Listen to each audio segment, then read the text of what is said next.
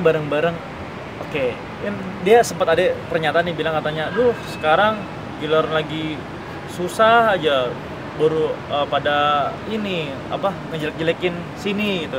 Terus dulu yang diingat susah-susahnya doang giliran senang-senangnya nggak diingat-ingat gitu.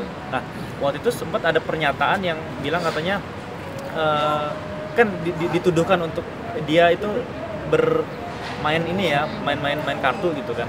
Tapi uh, ada yang menyatakan bahwa katanya uh, ya diingat adalah buruk-buruknya aja yang baiknya enggak gitu. Ya berarti secara nggak langsung iya apa enggak tuh? Gitu kan?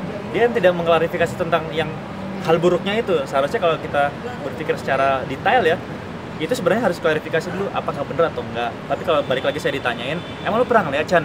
Ya, kalau saya sih kebetulan uh, pada saat itu uh, mungkin pernah lah tapi saya tidak tahu uh, menau dan tidak mau ngomong gimana gimana yang jelas kalau misalkan ditanyakan pernah melihat pernah. Tapi untuk jelas lebih detailnya lagi monggo silakan ditanyakan sama nah, namanya juga temen ya dulu ya. Tapi terus terang gini kalau misalkan ditanyakan uh, masalah hobi mungkin orang memiliki hobi yang beda-beda. Saya uh, memiliki hobi misalkan main drum gitu main musik teman-teman lain punya hobi yang lain. Nah ketika ada orang yang uh, hobinya bermain judi sebenarnya sih nggak apa-apa tapi ketika uh, main judi terus melibatkan orang lain dan juga akhirnya bisa um, melibatkan orang lain dalam hal yang tidak baik ya itu seharusnya menjadi bahan pertanyaan sih sebenarnya. Tapi saya tidak mau membuat opini publik apa pun.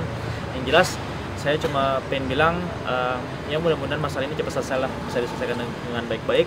Toh kita pun juga sebenarnya pengen semuanya ini tidak akan uh, terjadi seperti ini nih buktinya kemarin kita juga sebenarnya ada main aja nggak ada apa-apa tiba-tiba dicolek begini ya teman-teman saya yang bukan saya ya teman-teman saya yang mungkin uh, pernah merasakan yang hal-hal tidak enak akhirnya uh, kembali. Jadi jangan lupa untuk subscribe cumi-cumi ditekan ya tombol lonceng merahnya.